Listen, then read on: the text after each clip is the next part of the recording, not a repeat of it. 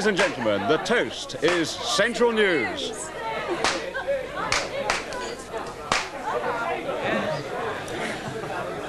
Central Independent Television was born just a few hours ago. It arises from a decision by the Independent Broadcasting Authority a year ago to offer the new Midlands ITV contract as a twin operation with studio centres in the West and East Midlands. Central applied and offered studios in Birmingham and at a new site in Nottingham. Today, our Nottingham studio is due to go on air with special news programmes designed for the East. Sadly, instead of a broadcasting news, our colleagues in the East have been making it. The studios were officially opened in front of 100 VIPs, but they didn't go on air. London electricians who are due to man the studio want up to £500 a week to work at Giltbrook Centre. Central management say it's too much. Here's John McLeod. When Sir Brian Young of the Independent Broadcasting Authority cut a piece of videotape, Central's East Midland building was officially open, but not the studios inside. Underneath the switched-off studio lights, VIPs watched the opening on closed-circuit TV, the only pictures from Giltbrook today. What should have been the spectacular launch of the East Midlands' own TV station turned into a bitter disappointment. But management were apparently prepared to risk the embarrassment of no opening day programmes rather than give in to the electricians. The negotiations, when they broke down towards the end of last week, were really still talking about levels significantly in advance of 20,000 a year, approaching 25,000 or beyond. Um, now, very obviously, if we were to take a short-term solution to the problem and agree to those sort of payments, we have responsibilities to everyone that Central employs. And, and clearly, one couldn't uh, face a situation where we'd agreed to that level of payment to one small section of the workforce. Well, now that the opening celebration party is over, the studio here at Giltbrook, Studio G, from which the first all East Midlands news programme would have been transmitted, remains uncannily silent and in semi-darkness. An unfortunately worded greetings card was the only occupant of the new transmission area. Though no programmes are going out, the IBA says Central hasn't broken its franchise agreement. Uh, nobody can uh, organise so that these things don't happen. We naturally hope as warmly as anyone else that they'll be settled very quickly. But it's not a question of being in breach of the contract. I think it's been very impressive the way the studio has been got ready and what Macmillan called a little local difficulty, I hope will be very, very short-lived. While the 50 studio lights, which the electricians would normally operate, remain blacked out, the rest of the staff, journalists and technicians are back at work, preparing for yet another opening day programme. At the moment, though, no one knows when it will go out.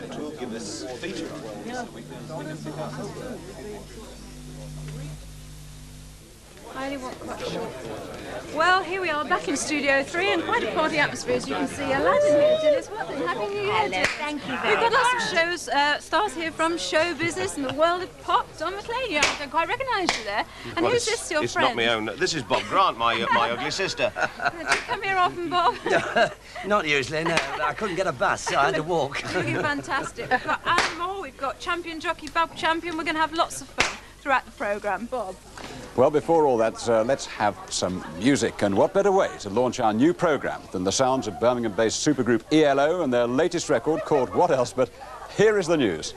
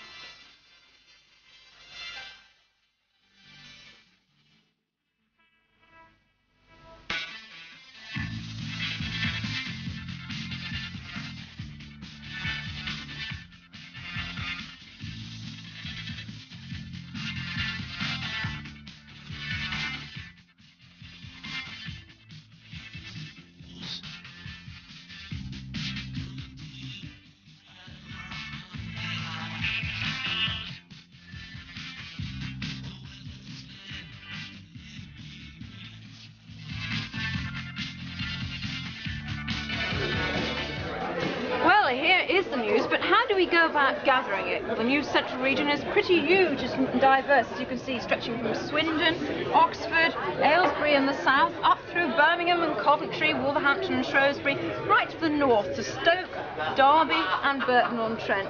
We gather news from all sorts of sources, viewers, letters, local newspapers, press releases, but by far the most prolific source of news is our network of correspondents based in towns and villages around the region. Journalists known in the trade as stringers who telephone their items of news to our newsroom here in Birmingham. Take Alan Jones, for example, our Shropshire correspondent based in Ludlow. We join him as he discovers a story for us in a place all journalists seem to find themselves in from time to time, that eternal source of newsworthy gossip, the local pub. It's a bit of a devil today. It is shocking. I hear lots of people have had difficulty getting to work. How are they managing for Clee Hill? Well, I got one of those things they call a, I don't know what they call them now, snowcat or something. What's that? Well, they keep it just this beside the village there. It's, uh, well, it's got a track on. The seed of a news story idea is sown. Alan Jones checks it out and rings Central News.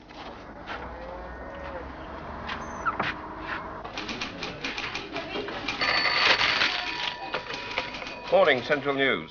Hello, Bill. It's Alan Jones here, Mercia and Mid Wales News Services. Hello, Alan. Yeah, we're doing a big weather roundup today.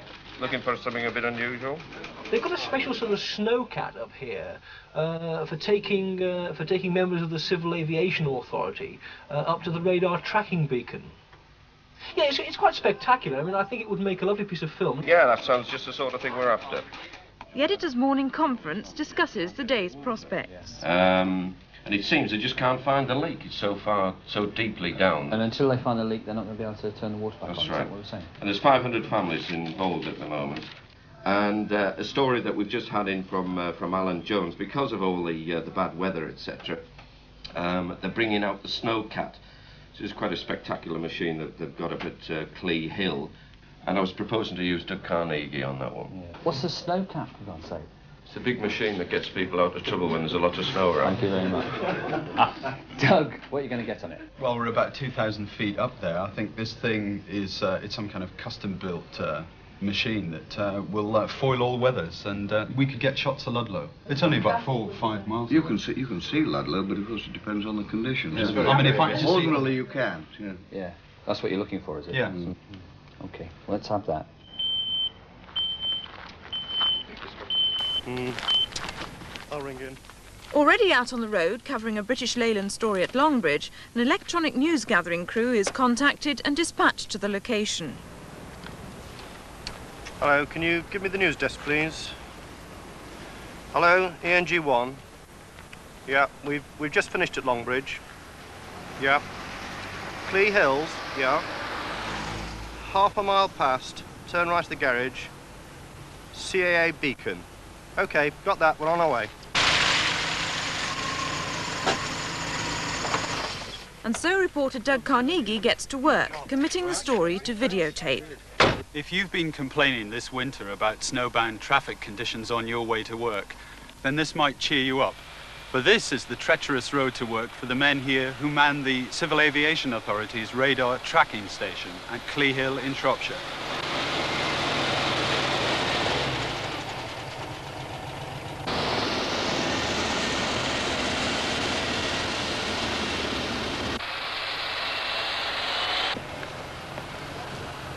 The story complete, sound recordist Ralph Brown releases the cassette. Here you go, Craig.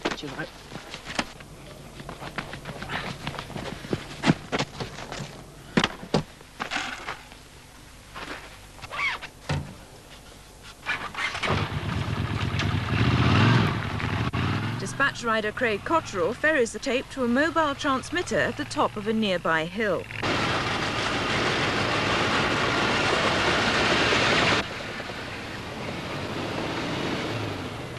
Can I have the earphones right, please? Yeah, okay. I'll do this final pan and uh, on, see how on we the get way. On the way, sir. Yeah. From here, the engineers beam the story back to one of our editing suites at Central House. But I think it's a bit more to the uh, to the right over there. Over to the right? Yeah, over to the right there, just past some trees. Oh, they're nice pictures. aren't That's they? all right. Oh, that's nice. That's it's all very right, yeah. dramatic, isn't it? The, the, Yeah. the red against that white background with the white sky as well. Back at base, last minute touches in the studio, and the stories on air. Stand by Oh, and get in there, Stan. Stand by, Bob. We're going to do a link into the snow capping. Here we go. If you complain about the weather and the drive to work, then spare a thought for the men who have to struggle to what must surely be the region's most remote place of work. Reporting from 2,000 feet up, Doug Carnegie. And take E and G. Well, that's how we gather in the news. Now let's take a look at what's been happening in the central region today. Over to Bob. Well, it's been a soggy start to the new year for thousands of Midlanders, with the worst floods for almost 40 years reported in Gloucestershire. And tonight, at least one family faces its fourth night cut off by the rising water. Jeff Mead has the details. Today, this was the only sure way of getting about in the string of flooded villages along the banks of the River Severn. Locals say they've never seen anything like it, with the river 15 feet above normal in places. At Forthampton, the Deakin family has been cut off for four days, despite a new million pound flood barrier around their hotel. Their only contact with the outside world, the telephone. and the whole entire pub now, we're completely sort of isolated, and it's now starting to rise through the floors and coming up everywhere, and the, the kitchen, uh, we should be under about a foot of water in about another half an hour, Edden. And with more rain forecast tonight, the Water Authority is warning things could get worse before they get better. Jeff Mead in waterlogged Gloucestershire for Central News. Gas board engineers have been investigating the cause of a fire at a cafe in Birmingham in which a man died. The blaze broke out early today at Gwen's Cafe in Bordesley Green. It's thought to have started in the kitchen. Firemen wearing breathing equipment found the body of a middle-aged man in the bedroom above. He hasn't yet been named. In Solihull, seven people were taken to hospital when fighting broke out after a New Year's Eve party. It happened at a house in Burford Close, Hobbs Moat. Police say that at about three in the morning, two rival factions started fighting with hammers. The seven injured were in their teens or early 20s, and two of them were kept in hospital. The couple who live in the house were away at the time, and the building was badly damaged.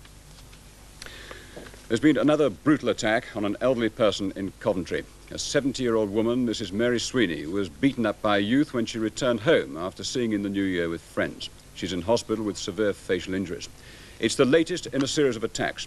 Police in the city recently issued a photograph of one of the victims, Mrs. Rose Shrive, in the hope of shocking teenagers responsible for the attacks. Moves are underway tonight to resolve the row over the Penlee Lifeboat Disaster Fund, with some assurances that the money will be used exclusively to benefit the families of the eight dead crewmen. But meanwhile, anger amongst the thousands of Midland contributors to the fund is growing, as Rob Whitehouse reports. The lifeboat disaster off the Cornish coast on December the 19th moved thousands of people to send money to help the mourning relatives of Mousehole. And fundraisers like Ray Grammett from Nuneaton also set to work. Ray owns a fairground organ, and he took it to the far from prosperous town of Corby. There he raised more than £300. His cheque joined thousands of others from around the country, swelling the fund to a million and a half pounds. But the charity laws still threaten to stop most of the money from reaching the bereaved families, and that's made Ray Grammett furious. I am so incensed that I am feeling like asking Barclays for this money back because I feel that had we not had we thought it wasn't going to the families, then we would have taken that money ourselves personally down and given it to them. And we feel that the people that gave the money, they will be um, feeling that we have conned them into getting money for a fund which it's not going to go to. For some young Midlanders, a bright future ahead. For a start, they're almost certainly guaranteed a public holiday on their birthday for the rest of their lives. Yes, across the region there's been the usual crop of New Year's Day babies and their proud mums. At the Queen Elizabeth Hospital in Birmingham, five were born after the midnight chimes of Big Ben. Swindon weighed in with the same number. The parents of Stoke have produced seven, and Shrewsbury and Hereford six apiece. But topping the league for the New Year's Day newborn is Coventry, where the tally so far today is 12. Meanwhile, arrivals of another kind continue to flood Midland shops despite the fog. Some wanted to get away from it all, others, as Doug Carnegie discovered, are still bent on buying it all. You're after a TV set? Oh, just a portable one. What happened to yours? It blowed up, and it's... I've just come in for some um, typing paper and some files. And if you'll excuse me, I'll try and find out where they are. In the store travel bureau, the lure of faraway sunny places was too much to resist for some. Where in your wildest imaginings would you like to go on this foggy New Year's Day? Foggy New Year's Day, um, Miami. West Indies, well, Miami, or somewhere nice and warm where there's Touch of romance, perhaps? Mm, well, hopefully, hopefully it's our age. One hopes. But some of the January 1st shoppers didn't get far beyond the store restaurant, and the only thing on the menu interesting them was an awful lot of black coffee. Doug Carnegie on the morning after the night before for Central News. Well, that's the news for the moment. And now we have sport. And we have a new sports team in the studio this evening. Bob Hall joins our head of sport, Gary Newbon, as the new Central sports presenter here in the West. And behind the scenes is Central's new sports editor, Jeff Farmer, who joins us after a distinguished career as one of the Daily Mail's top sports writers. So, here we go, Central Sport with Bob Hall. Thanks very much. And the big FA Cup news tonight is that two Coventry City players have been dropped from tomorrow's third round cup tie with Sheffield Wednesday, and they've been fined two weeks' wages each for breaking a New Year's Eve curfew. The players are both strikers Gary Thompson, who's just signed a new three year contract, and Tom English, who regained his place in Coventry's attack only last week. We understand that both players have been disciplined for breach of club rules while Coventry's cup squad was spending the New Year's Eve night in a local hotel. So it means that Coventry will take on Sheffield Wednesday with only one recognised striker in Mark Hateley in their side. But the club's executive manager, Gordon Milne, said this afternoon, it's no good preaching discipline if you don't practice it. Well, the weather's already affecting the cup fixtures. Aston Villa must wait until Tuesday night before they can play Notts County. And this afternoon's Port Vale Stockport County game was called off and it'll now be played tomorrow, weather permitting. That game, incidentally, is in the second round. Well, one man who's anxiously watching the weather is Birmingham's Frank Worthington, who just four weeks ago thought that his career with the club was over. But tomorrow, Big Frank returns for the third round tie with Ipswich, as does another former England player, defender Colin Todd, who's been out injured. Well, with Andy Gray and John Richards both doubtful starters for the home cup tie with Leeds United, there could be a return for Wayne Clarke, whose Midlands-born brother Allan now manages the Yorkshire side. And three West Bromwich players are back for the home tie with Blackburn Rovers. Derek Statham, Martin Jol and Ally Brown have all completed suspensions. Well, Midland soccer fans don't really need me to remind them that despite the footballing success we've all enjoyed in the 70s and the 80s, the FA Cup hasn't passed this way since 1968, would you believe? And on that occasion, West Bromwich Albion, managed by Alan Ashman, went to Wembley to play Everton. And in extra time, it was this man, Jeff Astle, who broke clear to score the only goal of the game, bringing the cup back to the Hawthorns. Now Fraser. Astle. Astle. Astle again. There we are. Well, uh, Jeff Astle then in 1968 bringing the cup to West Brom. I wonder who in the spring of 82 will be winning the cup. A man who is very good at tipping things like that is now waiting with Gary. Gary. He is indeed, Bob, because uh, this time last year he said that Aston Villa win the league championship, and he also said, thank you very much, Jim, he doesn't use this stuff, he also said that Spurs would win the FA Cup. Well, will lightning strike twice, Jim? Uh, well, I hope so, Gary. I, I, think the team that I picked to win the league this year is still on target, which is Ipswich Town. And I'm going to go for West Bromwich Albion because they're really striking a, a, a, real top note at the moment and they're going into the coming year really in tip-top condition, so I fancy him. Although Ron Saunders is behind me, I find it hard to believe that Villa are not going to do something as well this year. Let's hope it's a... Stop touching me up, Ron. Um, uh, you know, let's hope they win the European Cup. They kept him quiet. Carry on, Ron. so, so it's West Bromwich Albion to win the cup, which obviously yeah, means... and Ipswich to take the lead. All right, well, we'll see how that works out. Yeah, we thank, will. Yeah. Thank you very much. Bob. And I seem to think that... Uh, that uh, Jimmy got that right last year. Well, racing has uh, taken quite a hammering recently, but uh, though the latter part of today's meeting at Cheltenham had to be abandoned because of fog and Worcester's already off tomorrow, the cards at Newsbury, Newbury and Ayr should be okay. Incidentally, there's a 7am inspection at Newbury. Well, out of hibernation from snow frost, fog, and floods in the southwest. Here with his forecast, Terry. It's been a bad time for racing, hasn't it? Yes, I know. I've learned them to ski and skate, and now I've got to learn them to swim. Well, uh, we should have some racing tomorrow, all being well. I Uh, think We've so, got uh, yes. three tips. We'll have a look at them in a moment. Now, the first one you've gone for is Knighthood in the 130 at Newbury. Why is that? Um, well, he's a, he's a decent handicapper, and I think he's got a very good chance of winning. And um, he's got 10 stone, he's sure to run well, and the stable's in form of Churnell. And uh, the 145 at Ayr, you've gone for home ground. Uh, what attracted you to home ground? Well, it's one of uh, Easterby's, ridden by his son Tim Easterby, and um, the sun always rides his good fancied horses, and I'm sure he's in with a chance, else he wouldn't be riding the horse. And the other one is uh, Chingola, um, trained by Fisher, ridden by David Goulding, uh, excellent young jockey. So there you are. Uh, you can see home ground and Chingola on World of Sport. Incidentally, I hear there's another tipster in the studio. Yes, I believe Bob Champion's here somewhere. We'll somewhere. meet him a little later. Trying to give Terry, me a tip. Thanks very Thank much. you, Bob. Now's a bit of time. Right, we're back to the party, and uh, two of the guests I have with us now. There's Dilys Watling, who's got to wolf this back very quickly because you've got to be back at the back at the Hippodrome very quickly. I haven't have, yes. Ooh. Right. She's Ooh. playing Aladdin. Hello. Yes, I have, and I'm, I'm rather wet with all the champagne as well, but it doesn't matter. It'll dry. It doesn't stay in the costumes, does it? No, I don't think it does. no. well, you've got to leave in about three minutes. but I think I you're have. back on at seven o'clock. And what about Don Maclean? What about you, Don? Oh, we're not on until 7.30 at the uh, at the Birmingham Rep. you know. Oh, and you've only got to go, go just across the road as well, haven't Yes, you? yes. Yes. It's a magnificent... No, is that your own hair? No, no, it's, it's thank you for that, Bob. It's, it's a wig. This, it's uh, it's one of Reginald Show Bosanquet's old and uh, I, I don't think he'll miss it. He won't know it's gone. Okay, thanks very much for coming along. I know you've got to rush back. We're going to take a break now. Join us again for Central News.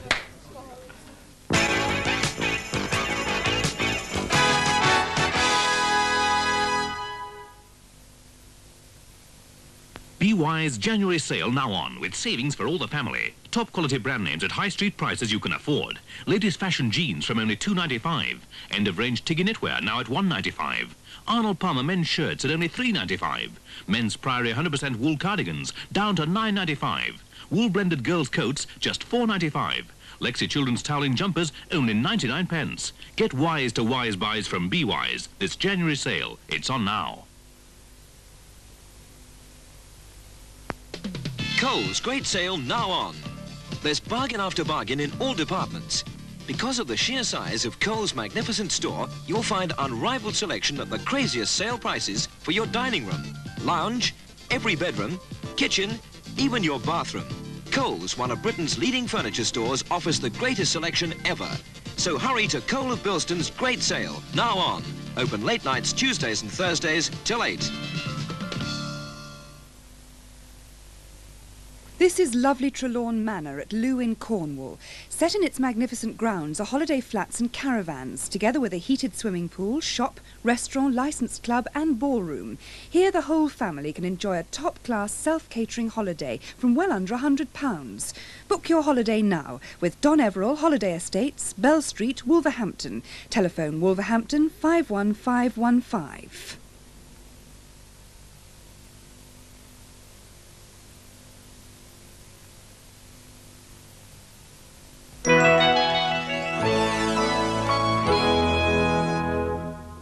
Welcome back to Central News with me, the lovely Hazel O'Connor. Hooray, everybody!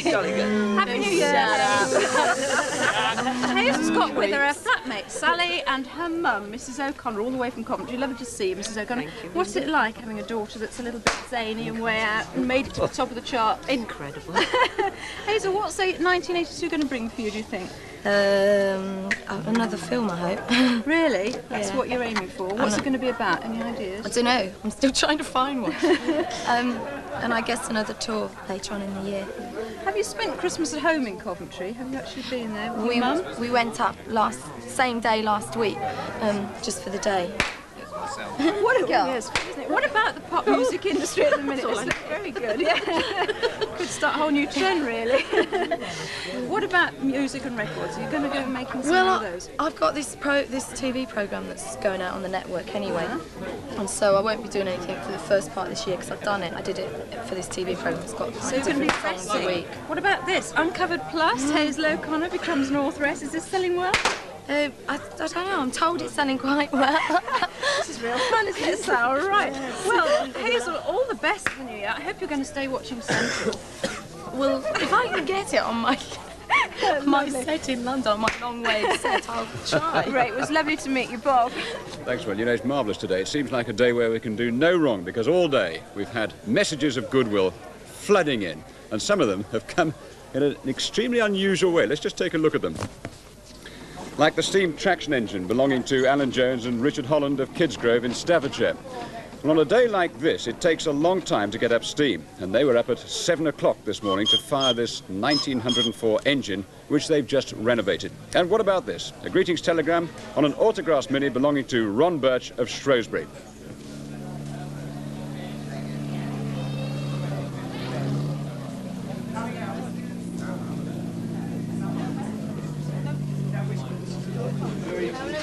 Well, believe it or not, we've also had messages from hospitals, and they've come by bed in the fog, miles and miles, all the way from Stourbridge and Wordsley Hospital. We've got Nurse Clark, Linda Clark, brought in by all the porters. Hello, lads.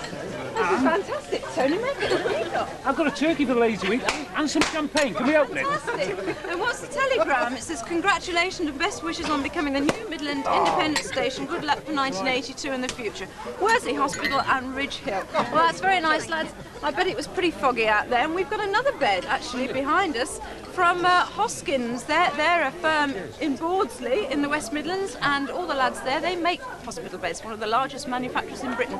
And they've wheeled theirs all the way across town, although I think they did cheat a bit and just bring it in the car park. But it's lovely to see you all, all ardent viewers of Central News, I do hope. Yes? Shall we have a toast to Central News? Do you A think, toast Tony? to Central News, Jim. Are you feeling better? It's the champagne, it's the food in here, you know. It's rubbish. She's had a very long Christmas. Cheers, Cheers. Folks. Cheers, Cheers, lads. Thanks Cheers. very much for coming in. Well, that's certainly one way of wishing Central a good start to the new year. But when you look at Central's western region of the Midlands, you find dozens of regions in their own right. And they produce almost everything under the sun, from the ducks of Aylesbury in the south to the crockery that gets them to your table, courtesy of Stoke up in the north. And all those contrasts in between of industry and farming add up to traditions of local dialect as different as chalk from cheese. Doug Carnegie's been lending an ear to the Midlands' many voices. There are countless rich seams of dialect in the western part of the Midlands. If the coal board could mine its vocal treasure, we could sell off BL, pull the plug on North Sea oil, and still be self-sufficient for generations. The only geographical feature lacking is a coastline, but those trawlers of language, writers, have found almost everything else to nourish their words. Arnold Bennett's classic Five Towns novel of the potteries, Laurie Lee's Cider with Rosie, his earthy celebration of village life in the Cotswolds. The Malvern's tongue drew out the early poetry of a young John Masefield. Shropshire's hills and valleys echo in A.E. Housman's famous verse. Of course, a mere 40 miles eastward, a certain balding Elizabethan from Warwickshire made the world a stage he'll illuminate as long as books are read. And the grumpy wisdom of Staffordshire's Samuel Johnson owed much to the bustling cathedral city of Lichfield. And it was to Lichfield we brought an outsider, Yorkshireman Stanley Ellis, a university expert on dialects. His theory? Midlanders owe their tongues less to Anglo-Saxon stock than to the Welsh and the Scandinavians. Here you've got Lichfield, which is where the very first bishop of the Mercians, and these Mercians were the Midlanders, uh, particularly the Midlanders against the Welsh Marches. It goes back to the same word. Uh, and here we are, where there's been a tradition of speaking speaking English since those times, but also, of course, affected by the Scandinavians who invaded and came right across down to the line of the old Roman road, the Watling Street, which is to the south of us. But why in this particularly condensed area of England are there so many different accents? Well, you've got this basic West Midland variety, which was identifiable as a separate variety of English in, say, 1400. And, and from the writings, you can see where a word like man was written as mon, and a word like stand as stond, and even hammer would be homer. Uh, and that, of course, has been preserved right through to the present day. And it was always the custom that a dark man let the new ear in. So I reckon you won't take it amiss if I talks to you as an old Cotswold man likes to talk. I'm sure that if you go out into parts of Worcestershire and you get some old dialect speaker, he uses the same kind of tones and pitches that you find in, in Birmingham. So that Birmingham does very often, and with words as well, represent the, the, the countryside around it. And then it moves on. It's a town. It's got a vigorous, burgeoning life. And so the language of the towns is local. It represents the region. It's very specific for the town, and it's going on producing new words and new ways and changed pronunciations beyond the countryside around it. So the deadening hand of good old BBC English is a thing of the past? It, well, I wouldn't know whether it's a thing of the past or not, but it'll be a long, long time before differences and varieties are, are die, dying out. Well, that's an academic's view of why some Midlanders will bid you a up me duck and others waro ah kid. But coming up now, here's your chance to guess where the following Midlanders are from. So, ta beat. Where we are now is the birthplace of the Industrial Revolution. And uh, I should think my family were here probably earlier than that. Well, as you can say, these bottle kilns have been up a number of years. At one time of day, there were about 2,000 in Potteries area, and now there's only about 50 left. We've got a, a couple of football teams here. One's a good one, and one, you know, not quite so good. But it's uh, darn sight better than living in a big place like London. It's more countrified, you know. Oh, that's some good pigeons. The old red cock was a very good pigeon. He took some beating and all, he did. He told me that um, the pigeons came first, the children next to me last. when he was about 97, he thought he'd go and up and have a check-up, see? He went to the doctor, he said, Hello, Harry. Whatever's the matter with thee? Thee looks pretty pert to me, like. It is part rural, but it's got this strong sort of mining and industrial heritage, you know, and it tends to make people, the, the, their sense of humour, it tends to be rather dry. No chance, no chance. Don't know you, don't know you once a year. What are you on about? no, it's not. I just realised it's the cameras. And more to the point, did you realise where he was from? Well, you'll find out now as we recap on those Midland tongues.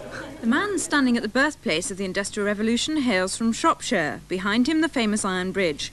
Those equally famous bottle kilns should have helped place this one, Stoke-on-Trent. And the good-natured gent who preferred his home city to a big place like London could only have been talking about home for almost a million of us, Birmingham. The pigeon racer and the woman who came second to the other birds in his life, Tipton in the Black Country. Next, Shropshire again, but a different neck of its many woods. This storyteller was from Clee Hill near Ludlow. And that dry, humid, rural and mining area is Ilkeston in Derbyshire. And finally, the man candidly caught by the cameras uttered his surprise in Best Oxfordshire, Carterton near Burford to be precise. Uh, we reckon if, if you placed all those correctly, you're either a linguistics professor or a commercial traveller. Anyway, let's join Gary now with uh, more of his guests.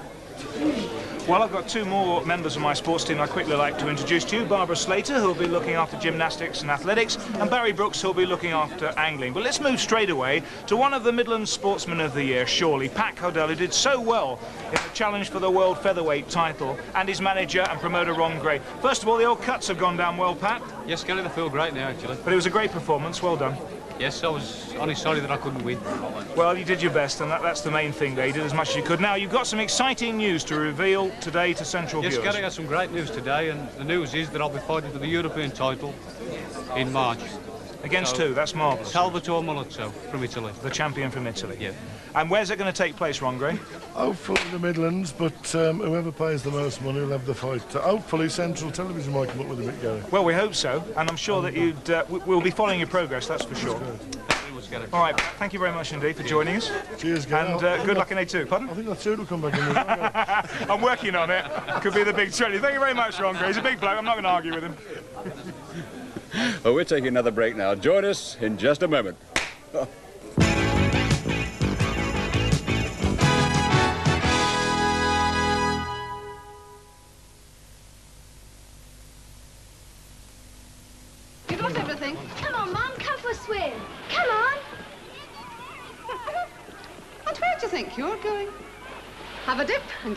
sun. Cover yourself up. Everybody will look. I am on holiday. You're no spring chicken anymore. Oh, yeah?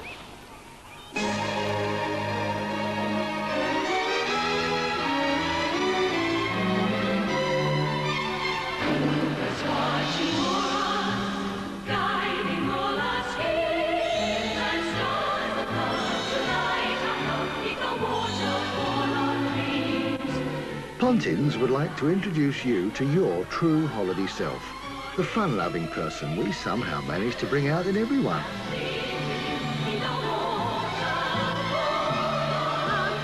Mum, we're going to lunch now. Meet your true holiday self this year. Ring this number for your free Pontins brochure.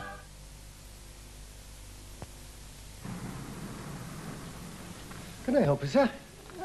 Maybe. Is it true yon walkers give you more enjoyment than ordinary crisps? Most of my customers think so. And is it true you get more taste? I'd say lots more. And is it also true that walkers have put a few more crisps in every pocket? Perfectly true, sir. And they cost no more than ordinary crisps? Not a penny more. Hmm, that's what I'd heard. Uh, you'll no be having a sale, will you?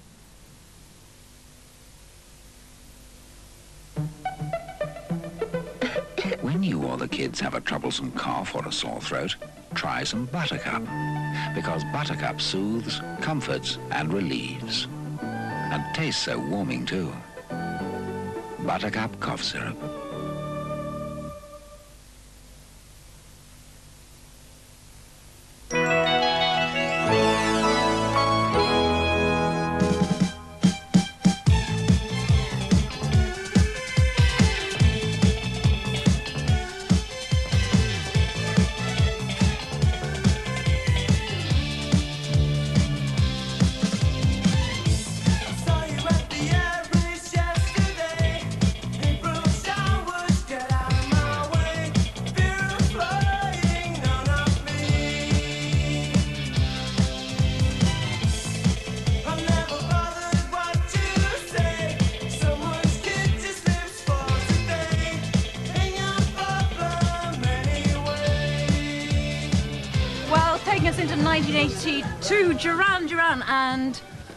What's the name of the Oh, song? My Own Way. You've forgotten it's a champagne. Duran Duran, it's lovely to see you. Birmingham's own and now top of the international charts. What's happening to you next year, this year, Oh, rather? uh, I don't know. We're going to Japan and Australia, but the next big thing is to record the second album, which we're doing in January and February. Smashing. You, you've just come back off tour. Are you all absolutely exhausted? Shattered. We have this problem that before the album's sort of recorded, we've got to write it. So um, She's always a well, problem with during that. January. Now, you say you're going to Japan, and I know your friend here wants to go to Bangkok like mad. yeah, he's Are you already that. well known out to the Far East? Yeah, Japan actually we're, we're pretty well known, and um, Australia we've done very well, and we're doing that when we go to Japan as well, and New Zealand. And we're going to come back via Egypt. Great, and you've got one big ambition. What's that for this year? You want to have number one hits here and where? Oh, everywhere else in the world. I suppose. Portugal. I mean, we're not megalomaniacs, though. We better be quite Did you nice. really think, though, that when you got underway, that fame would come so fast and, and so quickly and so well? Yes. Is the taxman going to be chasing you this year? Yes. we hope so. Jason is doing I hope offshore so. company Yeah, it'd be nice if it was Jason. But you've been in Brum for Christmas. New Year Yeah. resolutions? Uh, make even more money than the last. Oh, that's Well, what I make like some to hear. anyway. well, now we're about to meet a group who are definitely in fashion. Oh, it's Mulligan.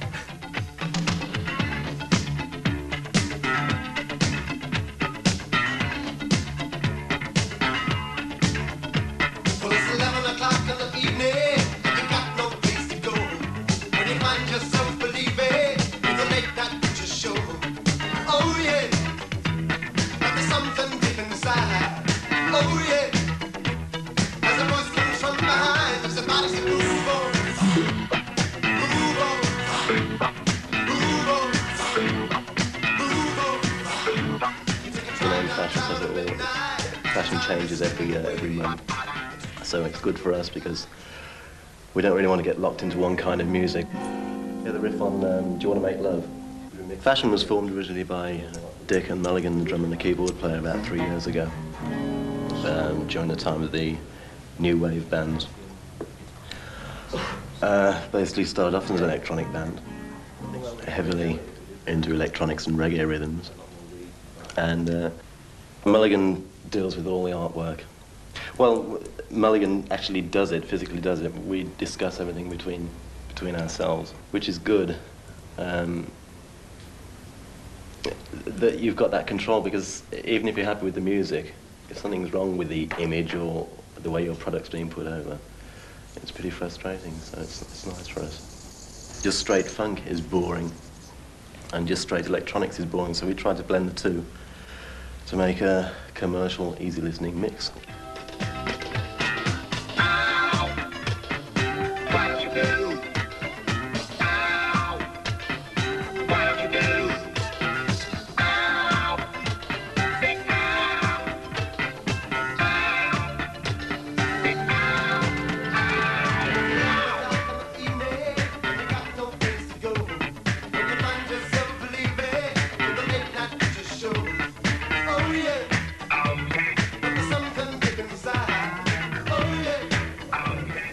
We mean by fashion.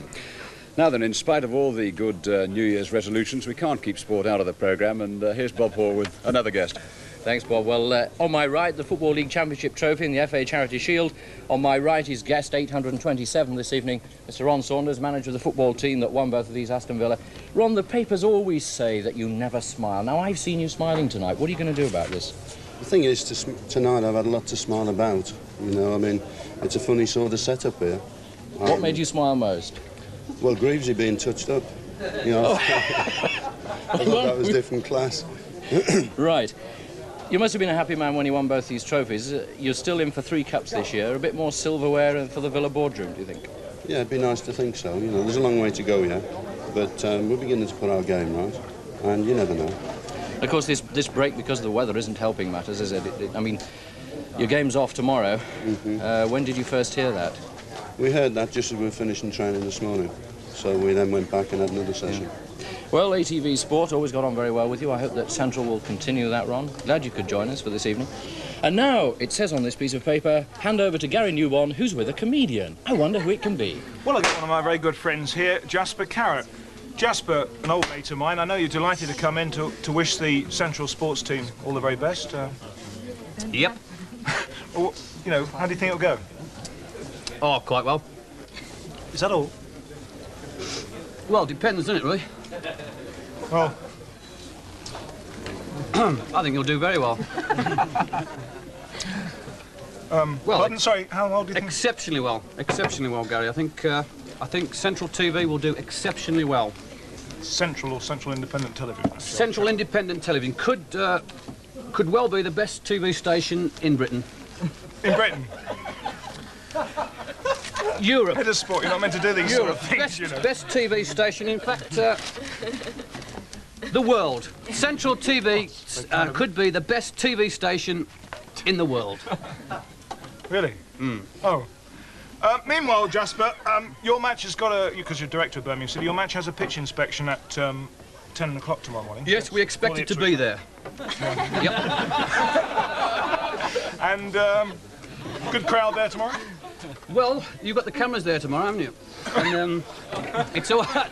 It's a bit embarrassing because like, we're going to have to fake a Oh, I right hope the between the police and We're some John's ambulance men. Not meant to announce these sort of things, but um, yeah, well, there you go. Right then. Jasper, thank you very much for coming in. Well, fabulous party. Well, the rest of us are enjoying it. Now then, here at Central, we'll be producing not only our news programmes, but also a whole range of new series, as Anne Diamond's been finding out. She's been taking a look at some of them. Up sound on to QAM. This is just one of the studio control rooms in Central. The Nerve Centre, responsible for producing live programmes such as Central News and all the recorded dramas and serials you see on television. From now on, all the programmes produced from here will be heralded by the new Central symbol as we change our name and our personality. But will our programmes look any different and what will they be? Well, one of the most adventurous is a late night version of that highly successful and years ahead of its time children's programme, Tiswas. Chris Tarrant produced roll. Tiswas from this very studio and turned a Midlands favourite into a network giant. Well, now he's taking his team from Saturday mornings to Saturday nights, producing an adult Tiswas called OTT.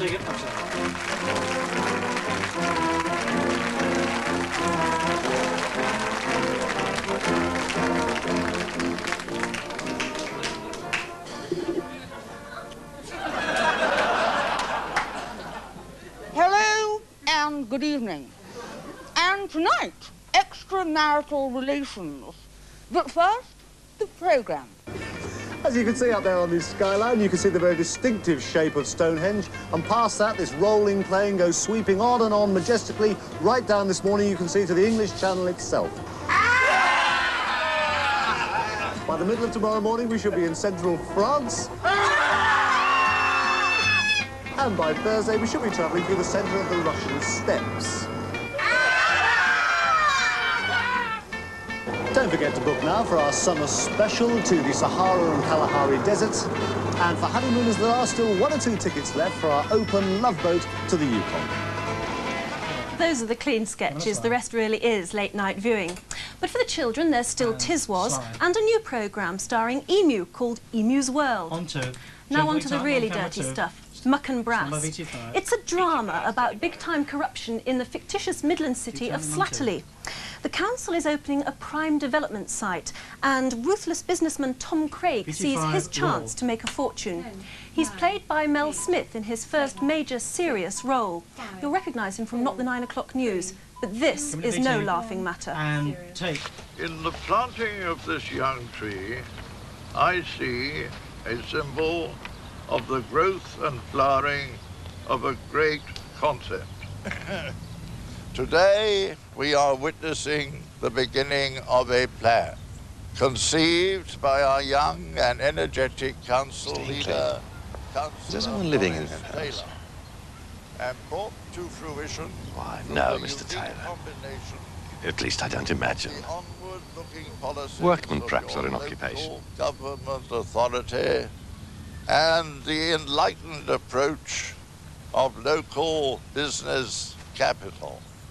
If to Councillor Taylor goes the credit for the idea behind the Slatterley Festival project, 50 quid. You don't deserve it. I want an hundred. An hundred quid I want, then I'll move. You had a look through your window this morning. They got the mayor and the whole corporation out there. You want me to sell this house with you in it? They wouldn't offer you a fiver, let alone a ton. They'll have you out of here and into an old people's home before you know what's hit you. All right. So I'm not going in with my daughter. I'm going down Skegness Sort her with out, Jamal, Doris will you? Trent. Muck and Brass starts next Tuesday. Well, the man who controls the brass in this company is. Charles Denton, Roll. the director of programmes. I asked him if Central was really going to look totally different. And take five. excited by the way it's going to look different because I think we're dealing with an entirely new company, not an entirely uh, renamed company, as some people have suggested in the press and elsewhere, but a company which is different both in structure, in finance, and I think most important of all, in spirit. Uh, and all of the programs that I've been commissioning over the last six months on the assumption that Central Television would be off the ground on January the 1st, which I'm pleased to say it will be, uh, have been to reflect an adventurous, risk-taking and open-minded attitude in a television station, which I hope the viewers will appreciate. Muck and Brass, which uh, starts right at the beginning of the new franchise, right at the beginning of the winter, and is in peak time across the entire network, is the first film drama series which uh, the Midlands franchise holder has made wholly within the Midlands over 25 years of operation. I think it's beautifully written. I think it's magnificently performed, amongst others by Mel Smith, and I think the viewers are not only going to admire it, they're going to enjoy it.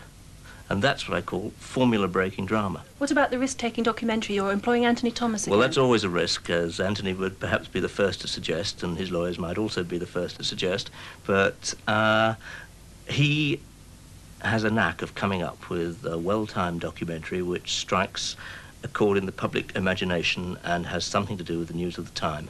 What he's doing within week one is making a profile of uh, one individual, uh, headline the most dangerous man in the world, and those people who see it in that first week of January might well believe it's a film about the most dangerous man in the world. It's a film not without its risks. It's a film, typical Anthony Thomas film, and it's a film that I think Central will be proud of, and I think, again, that the viewers will be impressed by. You've also got some documentaries which are just simply going to be stunning by their very character. I'm thinking of The Talking Whale, which we're going to see tonight. I think The Talking Whale, which has been uh, long in the learning to talk, maybe three years learning to talk, will be uh, the sort of film that I hope we'll come up with regularly on Central, and I'm delighted that the network has seen fit to give us a vote of confidence by transmitting it across peak time on the first day of the year. In all the world of nature, no greater enigma exists than the whale. Big or small, porpoise, dolphin, orca, mighty sperm, and giant blue, all are endowed with a quicksilver intelligence that rightly causes us to wonder, are they animals at all? But the great test of intelligence on Earth is coherence. Man, we believe, is the only talking animal. This Dutch scientist, Dr. Willem Dudok van Heel, doubted so easy a judgment. He wondered whether his friend Gudrun could rock man's ivory tower of Babel by learning to speak. The first talking animal. Well, like documentaries, which often take months or, as you heard, even years to shoot, most of the dramas and serials in the new Central Winter schedule have already been recorded. But one comedy that was still being shot just before Christmas was Dead Earnest.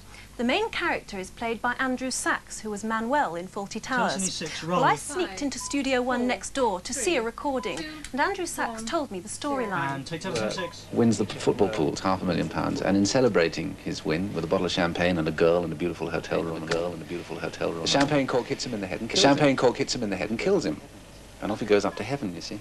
What do you say, Wolfgang? It's okay, Ludwig. I can handle this. Yes, must be a great gift to have, you know, makes us ordinary immortals feel humble. He wants a rumble. Nine, nine, Ludwig. Come on, Ernest, I think we better get out of while the go Come any to further. that. How many symphonies you write? These musicians are very touchy, you know. I had to make them did a summer season with Joe Loss one time. He was just the same. Always in a mood.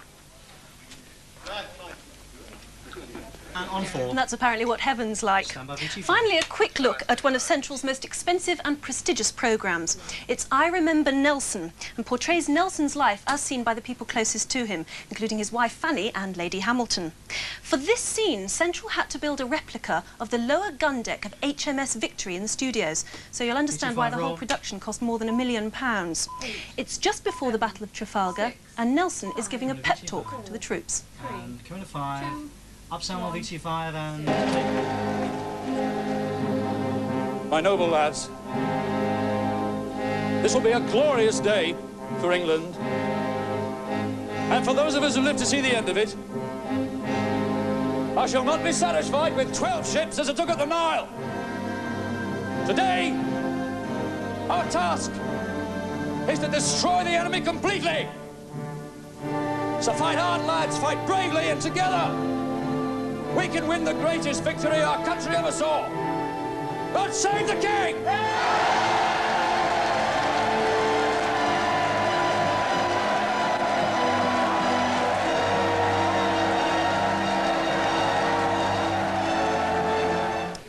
Just a glimpse of some of the new programmes which are coming up on Central this year. Now, Wendy, who are your friends? Oh, well, these are the lads that want to take over, and lasses who want to take over from us, Bob. Now over to Gary, who's going to recoup some of his losses. Well, Well, I hope so, Wendy, because I've got Bob Champion who lives on the edge of the central area. What did you think of Terry's tips, first of all, Bob?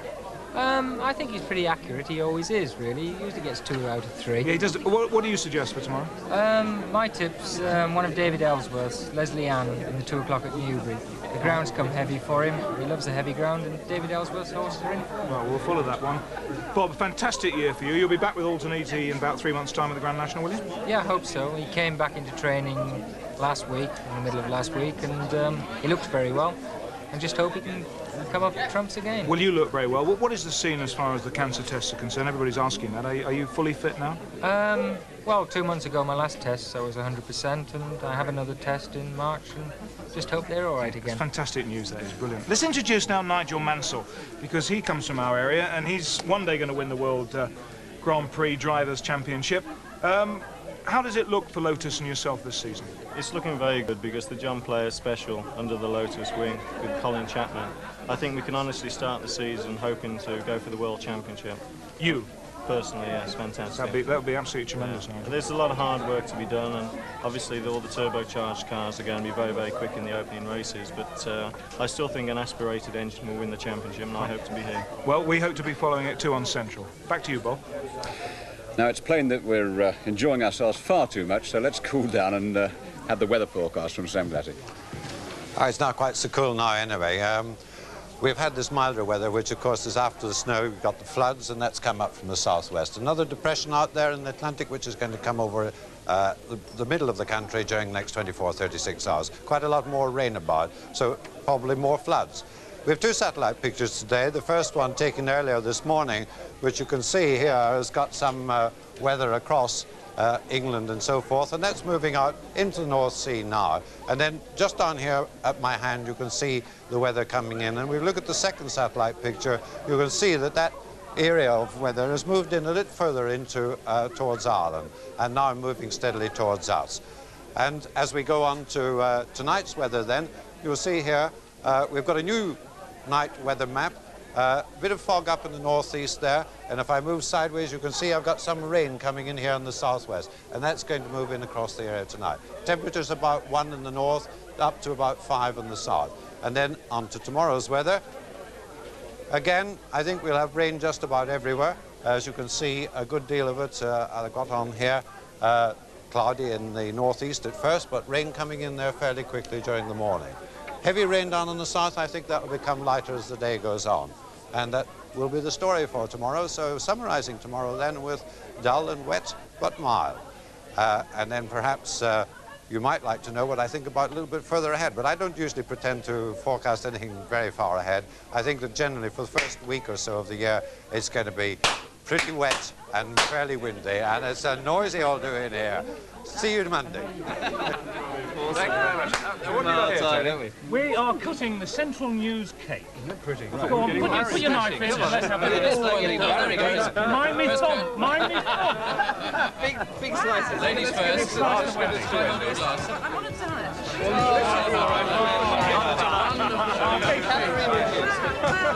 It says scent now.